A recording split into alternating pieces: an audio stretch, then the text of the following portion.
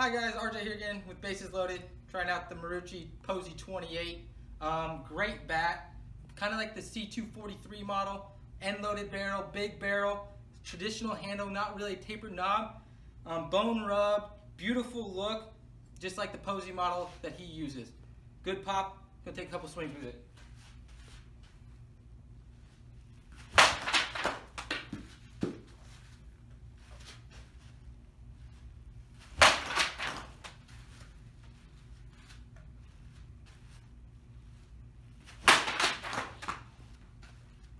I love this bat. More traditional type of knob, which I prefer, and then end loaded feel.